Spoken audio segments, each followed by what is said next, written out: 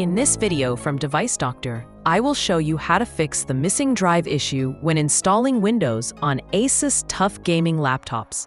No drivers needed, super easy and fast. Hey, are you still spending your money at repair shops? Join Device Doctor and learn how to fix your laptop and desktop yourself and enjoy the savings. As you can see, I have an Asus TUF gaming laptop with a 12th generation processor.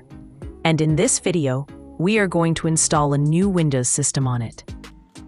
In the first step, we connect the bootable USB to the laptop and proceed with the steps to install Windows. As you can see, in the drive selection section, no drives are visible. And now in the second step, you need to restart the system.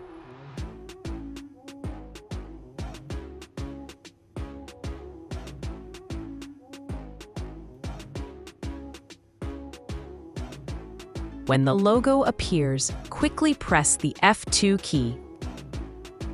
Now that you have entered the BIOS and your system settings, open the Advanced Mode option.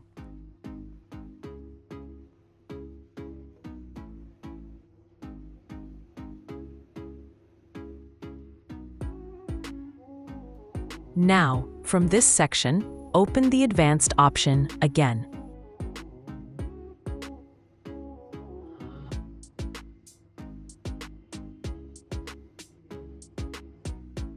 Now scroll down and find the VMD Setup menu option.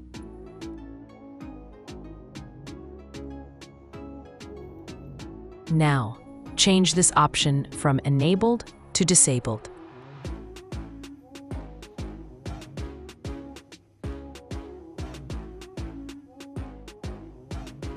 And now, to save the changes, you need to press the F10 key.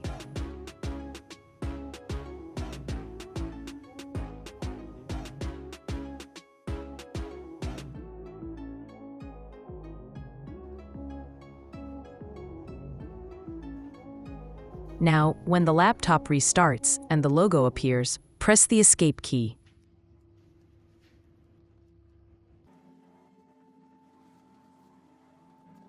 By making these settings, you can easily restore the drives and install Windows without needing any drivers. Congratulations! Now you have successfully resolved the missing drive issue and installed Windows on your Asus TUF gaming laptop without using any additional drivers. Thank you for watching this video from Device Doctor, and do not forget to like, share, and subscribe for more helpful guides and tutorials.